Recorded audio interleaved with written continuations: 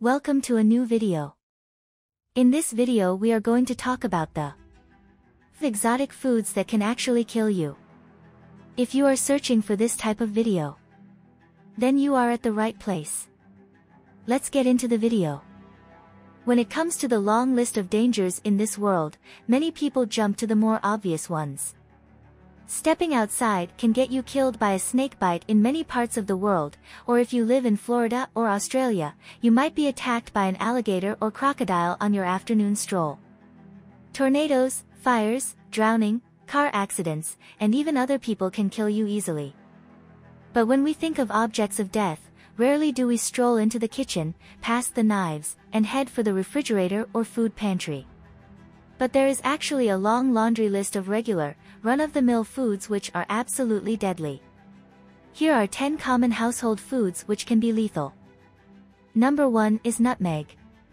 While most of us look at nutmeg and think of it as a spice, a nice little dash of flavor for our coffee or any other food which needs its rich, aromatic, nutty flavor, nutmeg is actually a hallucinogen at higher doses. 1. Nutmeg can cause dizziness, vomiting, nausea, central nervous system excitation, and even death.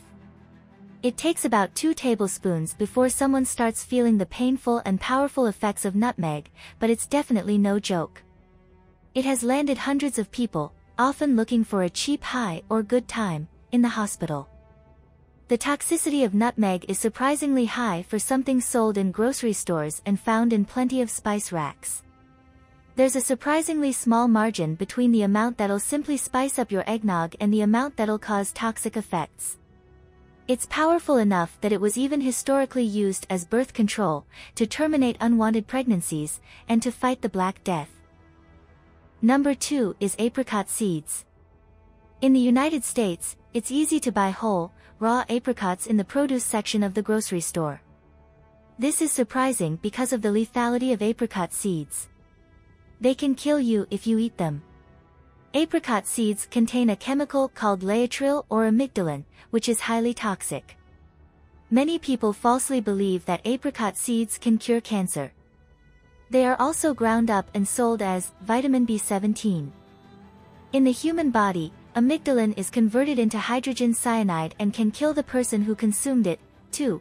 As we will see, many, many fruit seeds are actually poisonous for one reason or another, but apricot seeds, vitamin B17, laetrile, or whatever you wish to call it, definitely produces cyanide in the gut and can definitely kill you. Number 3 is almonds. In 2014, Whole Foods had to recall some of its bitter almonds as they contain traces of hydrocyanic acid and glycoside amygdalin, which, when heated or exposed to certain other conditions or chemicals, like the kinds in your digestive system, will be converted to hydrogen cyanide. 3. That's right, amygdalin again, just like with the apricot seeds. Both raw almonds and apricot seeds are marketed health products, but both can be deadly when ingested. Cyanide compounds are actually pretty ubiquitous and plentiful in nature. In fact, if you walked out into nature and just began eating food, many of the things you ate raw could kill you, as is, without human intervention. Number 4 is potatoes. Glycoalkaloids are a chemical compound that occurs naturally in various plants, such as bittersweet nightshade, a plant related to tomatoes and, believe it or not, potatoes. These plants contain solanine, a chemical which, in large enough doses, is actually toxic. Symptoms of solanine poisoning include nausea, dizziness, rapid heartbeat, and worst of all, respiratory failure, leading to death. Yes, you can die from eating potatoes, for, a grown, 91 kilogram, 200 pounds, adult would need to consume 0.9 kilograms, 2 pounds, of fully green potatoes to ingest enough solanine to kill them, which, if you think about it, really isn't a lot. Number 5 is tomato plants.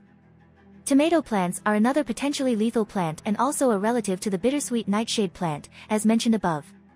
Thus, as logic would deduce, parts of tomato plants are also loaded with glycoalkaloids and possess solanine, with all of the same symptoms as the potato, including vomiting, nausea, dizziness, drowsiness, and, of course, respiratory failure up to and including death. The good news is that the poison resides in the leaves and vines, not in the tomatoes themselves, so eat as many actual tomatoes as you'd like, to your heart's desire. Just stay away from the green areas, like the vine the tomato grows on. Number 6 is rhubarb. Rhubarb may not be as common as potatoes or tomatoes in our kitchens, but this leafy vegetable, wait, is it a fruit? Well, it is actually a vegetable but is labeled a fruit in America based on a legal ruling in 1947. Regardless, it is often used in cocktails and as a tangy sweet pie filling. However, the plant's leaves contain oxalic acid, a chemical also used in household bleach and anti-rust products, oh my. Oxalic acid occurs naturally in certain foods, leafy greens, fruits, vegetables, nuts, seeds, and cocoa. Symptoms of oxalate poisoning include nausea, vomiting, convulsions, and even death. If the leaves of the rhubarb plant are eaten, they can also cause a burning sensation in the mouth and throat. Cooking the leaves will not remove the acid. The likelihood of dying from eating too much rhubarb is very low. The average lethal dose for oxalic acid is estimated at 170 mg per pound, 375 mg per kg, of body weight, which is approximately 26.3 grams for a 154 pound, 70 kilograms, person. This means you would have to eat 10 pounds of rhubarb in one sitting. So, unless you happen to be addicted to strawberry rhubarb pie, you're probably safe. That's it for this video, we hope you enjoyed it. Please like this video and subscribe to our channel.